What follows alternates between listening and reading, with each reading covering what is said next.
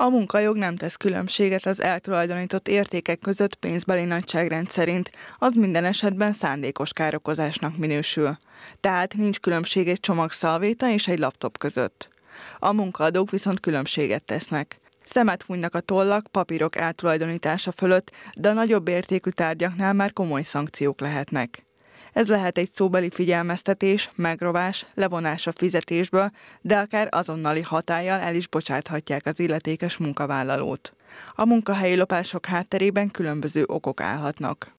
Természetesen a nagyértékű lopásoknak szinte mindig gazdasági indító oka van, adott esetben, ha az illető tovább ad rajta, keres rajta egy bizonyos összeget, de azt kell, hogy mondjam, hogy rengeteg a kis értékű, úgymond lopás is, amely már inkább, inkább tulajdonképpen tükrözi azt, hogy, hogy az illetőnek hol van az ő értékrendje.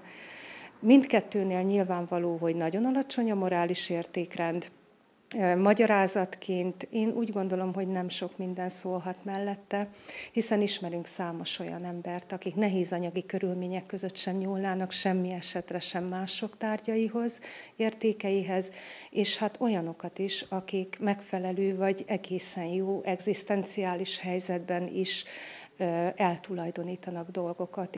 Ennek egy speciális változata a kleptománia, amikor az illető nem tudja megállni a lopást. Ezt a kényszeres cselekvést, betegséget az élménykeresés vezérli. A kollégáknak az ilyen és az egyszeri lopásoknál is ugyanaz a teendőjük.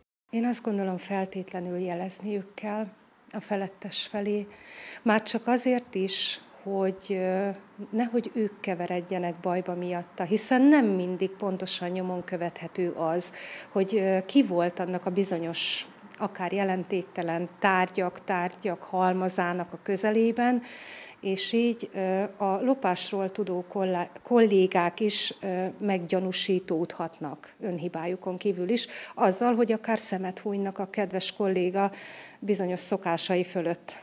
Egy kutatás szerint a dolgozók 80%-a találkozott már valamilyen formában a munkahelyi lopással. Az esetek 40%-át jelentik a vezetőség felé, itt azonban megakad a folyamat, és nem történik semmi. Sok esetben, több mint 15%-ban az emberek nem mernek szólni a vezetőségnek sem, sőt egymásnak sem jelzik a problémát.